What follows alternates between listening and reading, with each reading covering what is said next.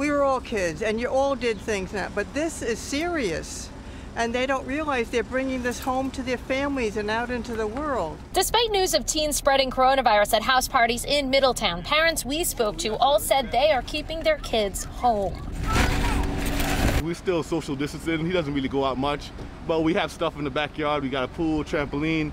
We find stuff in the house to keep them going. Nowadays, with the computers and the games, they get to see each other, and uh, you know, we, we just gotta stick through this. Middletown is not unique. On Long Beach Island, three dozen lifeguards who partied together tested positive.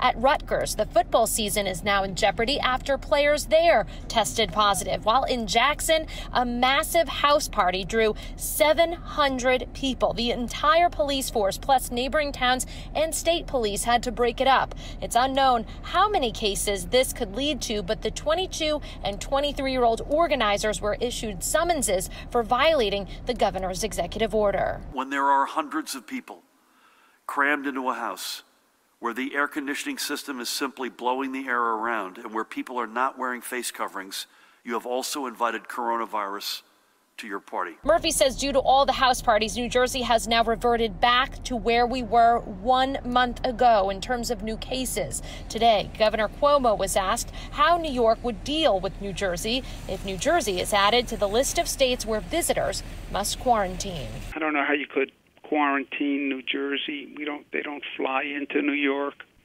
Uh, you'd have to blockade roads, and we're not talking about blockading